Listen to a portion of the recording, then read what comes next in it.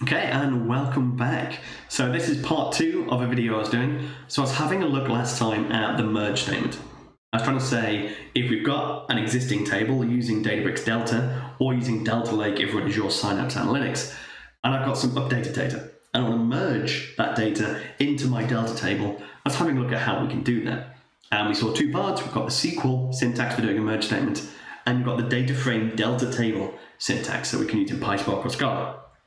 And that worked happily. We saw that Delta Lake, the open source version, doesn't have the full SQL syntax implemented, but you can do it using a data frame, which is better. So fine. Um, but the interesting thing, the, the other thing you can do with Delta is time travel. We can say what happened before and after each given operation. And there's a few different ways we can do that. So I've got some more examples. Let's have a look how we can do time travel using Delta in both Databricks and Synapse.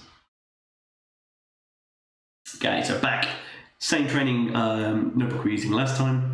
So we've run all this, we've done all this good stuff, we've got some dummy data.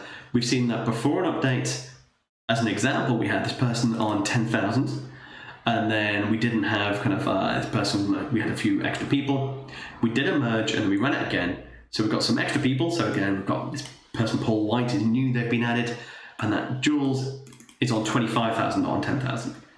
So we've got our before and after state. We know if we're querying before this happened, we don't want to see Paul White, we do want to see Jules on 10,000. If it's current state, then we want to see Jules on 25,000 and we want to see Paul White.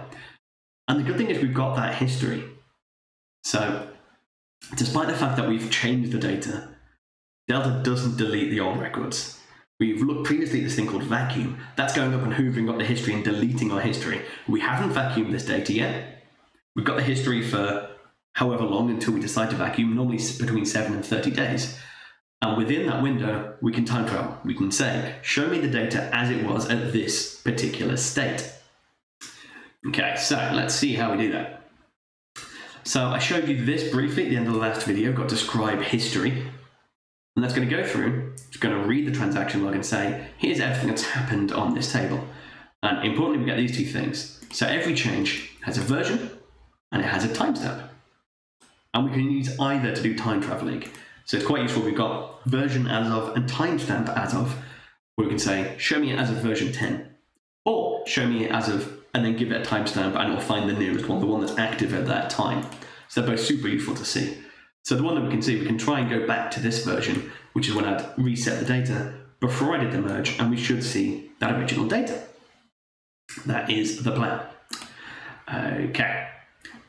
That's me trying to query the history of the uh, Delta log because we saw currently in Azure Synapse Analytics, you can't actually get at the history.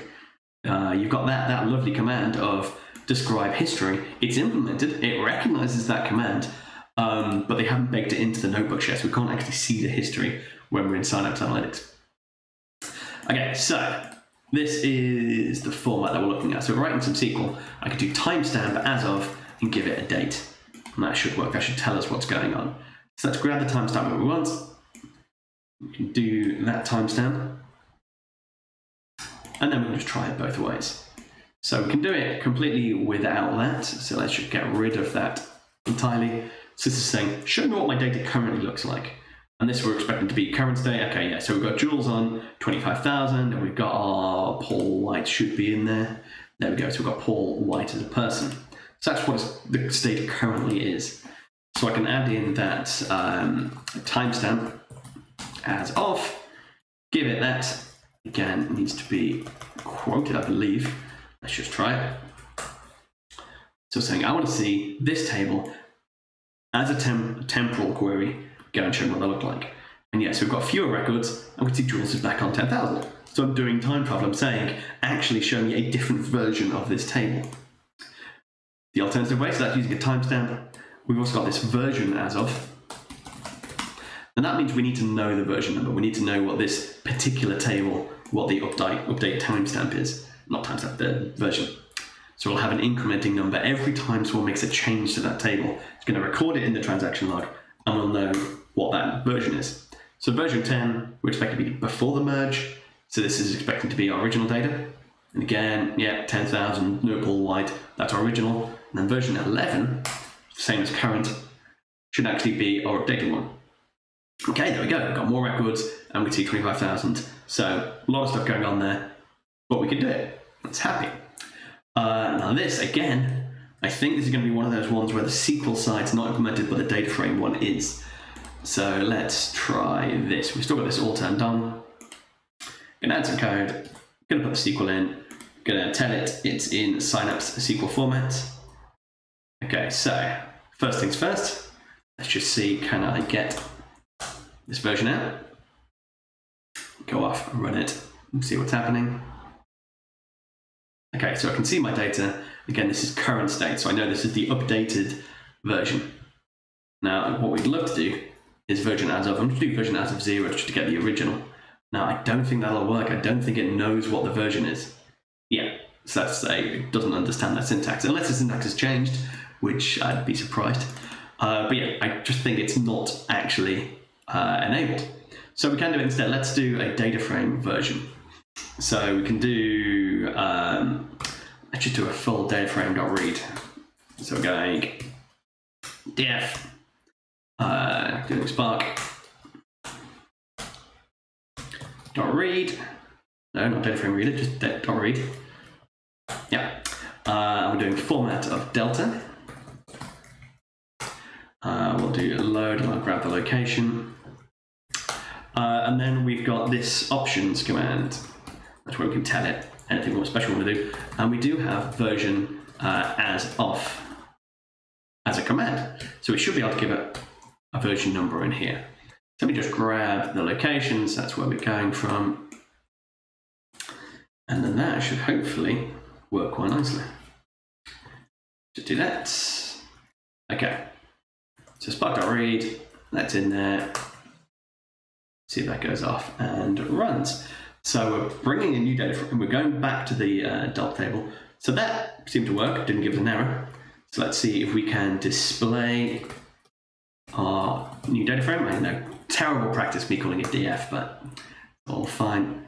Okay, so it's going in, trying to read it. Should tell us what that data frame actually looks like. And display's not working again. Okay, so let's change it around. Let's do data frame dot show. See what that looks like. And again, we want this to be the original state of data. Okay, and it is. So Jules Winterfield on 10,000, that is our original state. So we just change this and say, well, version as of 1. Again, I can't run the history, I don't know what the actual version numbers are, but I know the first two are 0 and 1, right? Uh, so I've redone that. Dataframe.show, and this should hopefully give us the next version up. So this is after I've merge, and yeah, Okay, so time travel is working and fully implemented in Synapse. If you want to be able to use it, you have to be doing it on the data frame side, but that's fine. So that's version of, as of. Let's do timestamp as of. Let's give it a timestamp. And you know, it's going to be interesting me trying to make up a timestamp. Let's see. Let's just grab one from over here.